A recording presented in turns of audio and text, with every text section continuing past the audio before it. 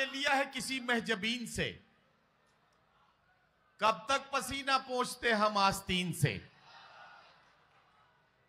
रूमाल ले लिया है किसी महजबीन से। कब तक पसीना पहुँचते हम आस्तीन से? ये आंसुओं के दाग है, आँसू ही धोएँगे। ये दाग धुल ना पाएँगे वॉशिंग मशीन से। तो आइए एक शायर को आवाज़ देता हूँ। जो आंसुओं के दाग को आंसुओं से धोने का इन दिनों नया नया हुनर सीखा है। इस शायर से मुलाकात कीजिए जो आसान लफ्जों में अपनी बात कहता है, लेकिन बात में लोगों को सोचने पर मजबूर कर दे इस तरह की फ़िक्र के साथ। बिलाल सहारनपुरी, इन दोनों मुशायरों में आपके जज्बात और एहसास की तर्जुमानी कर रहे हैं। मैं उनसे गुजारिश करता हूँ कि तशरीफ़ लाएँ और अपने कलाम से नवाजें। जनाब बिलाल सहारनपुरी। ठीक सही है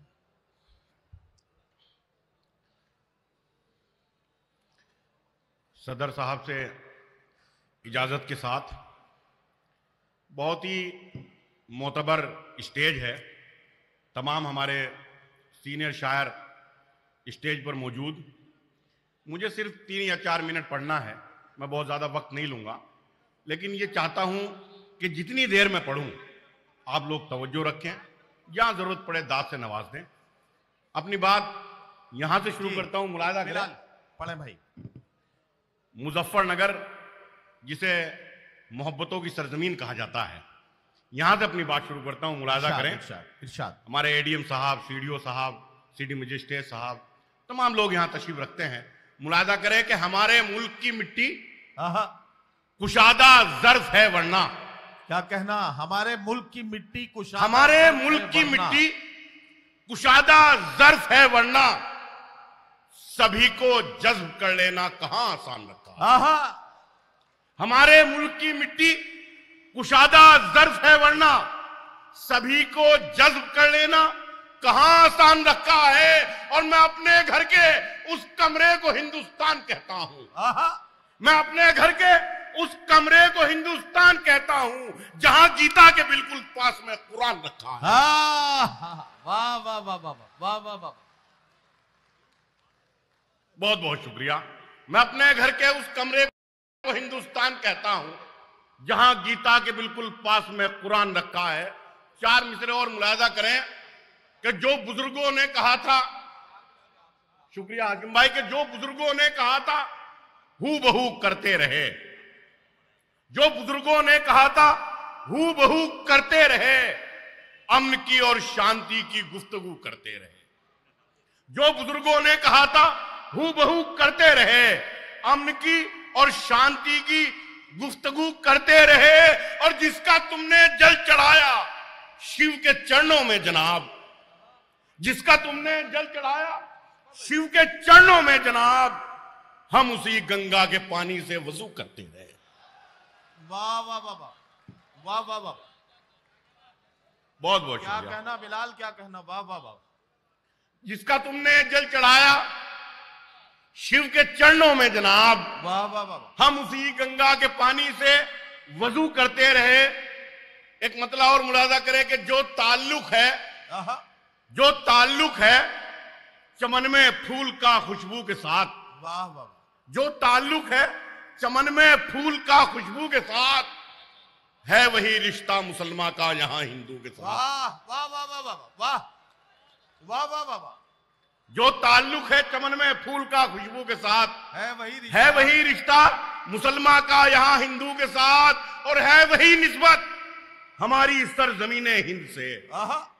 है वही निस्बत हमारी सरजमीन हिंद से। जो है निस्बत शायरी में मीर की उर्दू के साथ। वाह वाह है वही नस्बत? हमारी सरजमीन है हिंद से जो है नस्बत शायरी में मीर की उर्दू के साथ। और एक चार मिसरे और मुलाजा करें कि जो लोग करते थे कल तक मुखालिफत मेरी वाह। जो लोग करते थे कल तक जो लोग करते थे कल तक मुखालिफत मेरी। मुखालिफत मेरी।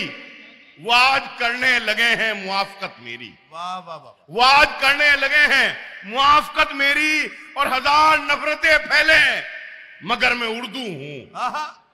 मुलाजा करें। हज़ार नफरतें फैले मगर मैं उर्दू हूँ। दिलों पे आज भी कायम है सल्तनत मेरी। वाह वाह वाह वाह वाह। हज़ार नफरतें फैले मगर मैं उर्दू हूँ?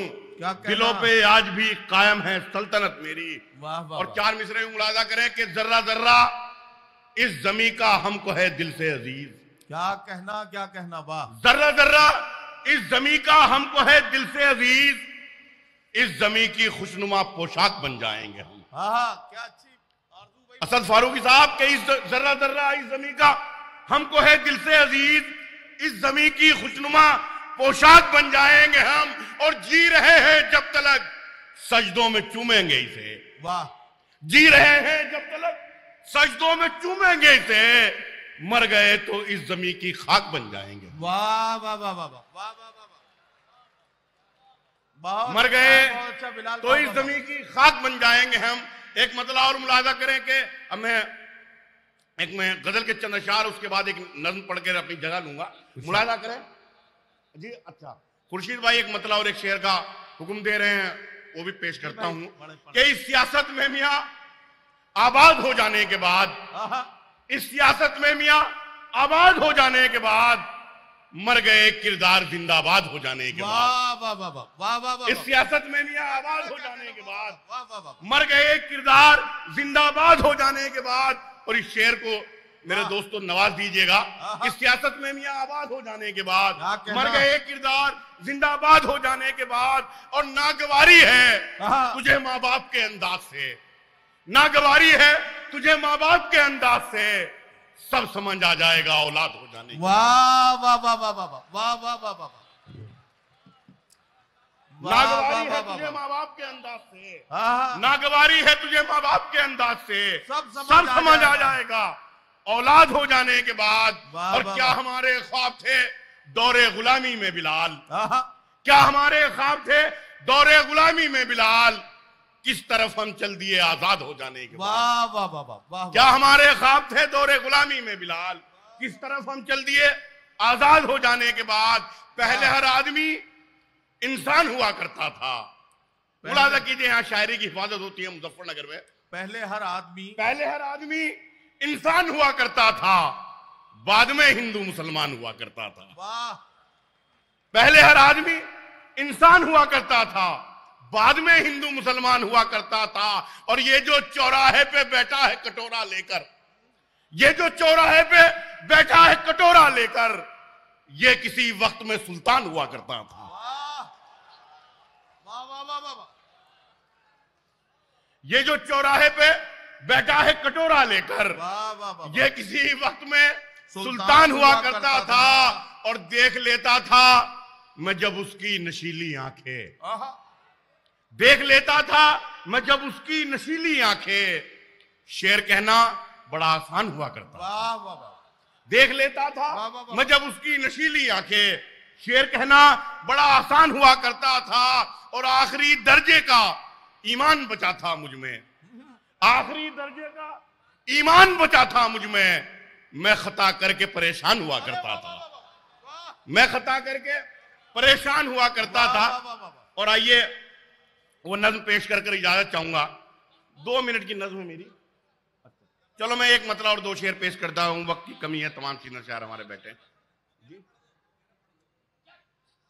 अच्छा मैं एक एक मतलब और दो शेर पढ़ के इजाज़त चाहता हूँ कि जान जिस वक्त भी मेरी ये बदन से निकले। क्या कहना?